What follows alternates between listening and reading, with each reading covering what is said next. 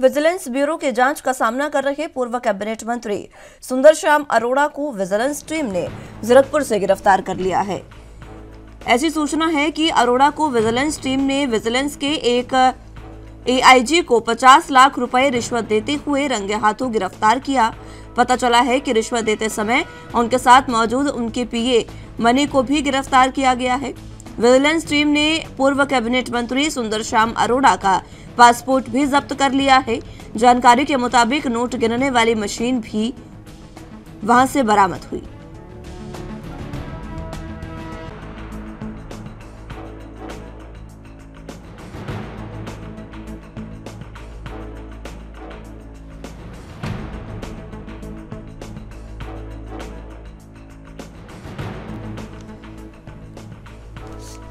तो vigilance bureau के जाँच का सामना कर रहे पंजाब के पूर्व कैबिनेट मंत्री।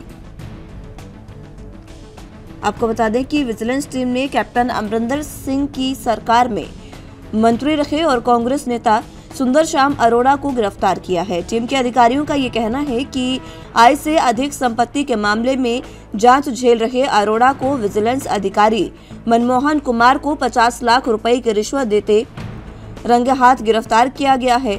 भ्रष्टाचार निवारण अधिनियम के तहत उनके खिलाफ प्राथमिकी दर्ज कर ली गई है। सुंदर श्याम पंजाब के होशियारपुर से कांग्रेस के विधायक रहे हैं। इसी खबर पर ज़्यादा जानकारी के लिए चंडीगढ़ से संवाददाता अमनप्रीत कौर हमारे साथ मौजूद हैं। अमन, फ़िलहाल, जिस तरीके से अब, जिस तरीके से कैप्टन श्याम कैप्टन की सरकार के जो मंत्री है, उनको गिरफ़्तार किया गया है, क्या कुछ इसको लेकर अहम जानकारी? रात इनको जीरकपुर के डीसी बॉल से इन्हें गिरफ़्तार किया गया और जिस तरीके से रिश्वत की जो बात सामने निकल के आई है, कि रिश्वत है वो ली गई थी। और रिश्वत भी देना चाह रहे थे ये, क्योंकि इनके ऊपर विजिलेंस की तरफ़ से लगातार जो इनसे पूछताछ की जा रही थी, और इससे गिरफ्तारी से पहले दो बार इनको पूछताछ के लिए बुलाया गया था। इन्होंने एक करोड़ के लिए ऑफ़र किया था। लेकिन उस अधिकारी ने, जो विजिलेंस के अधिकारी थे, उन्होंने इस बात की जानकारी विजिलेंस डिपार्टमेंट को दे दी थी, जिसके बाद विजिलेंस डिपार्टमेंट ने पूरा ट्रैप के ऊपर जो ये पूरा मामला लगाया हुआ था और जब ट्रैपिंग पे लगाया तो उन्होंने मुलाकात के लिए मॉल में बुलाया और 50 लाख की बात जो थी, जो पहले इन्होंने डेढ़ ऑफिसर को देने थे और जिसके तहत इन्हें गिरफ़्तार कर लिया गया और सुबह ही अर्ली मॉर्निंग विजिलेंस के अधिकारियों की तरफ़ से सुबह साढ़े सात बजे प्रेस कॉन्फ्रेंस करके ये जानकारी दी गई कि इनको जो गिरफ़्तार किया गया है। आपको बताना चाहिए कैप्टन सरकार में ये मंत्री रहे थे, लेकिन जब चरण सिंह चली जो कि नाइन्टी वन डेज़ की लेली महल जो मुख्यमंत्री बने थे पंजाब के उस समय में इनको पार्टी से जो कि टिकट नहीं दी गई थी नाराजगियों का तो पार्टी दूसरी कैप्टन हेमंत जोश को माना जाता था श्याम चंद्र अरोड़ा का जब कैप्टन अमरिंदर सिंह ने अपनी जो पार्टी बनाई लोग कांग्रेस की पार्टी ने जब और आ, उनकी तरफ़ से जब भाजपा का जब हाथ थामा गया तो उनके साथ कई जो बड़े लीडर थे वो शामिल हुए थे।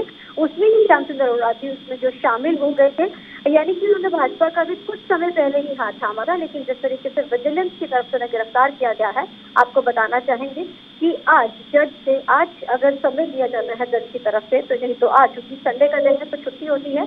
अदरवाइज़ उन्हें कल कोर्ट में पेश करके उनकी रिमांड की जो है मांग की जाएगी। लेकिन देखते यहाँ बहुत अहम रहेगा कि रिमांड उन्हें कितने दिन का मिलता है सात दिन का दिया जाता है या फिर दस दिन का रिमांड उनको दिया जाता है ये देखने वाली बात बहुत अहम रहेगी यहाँ।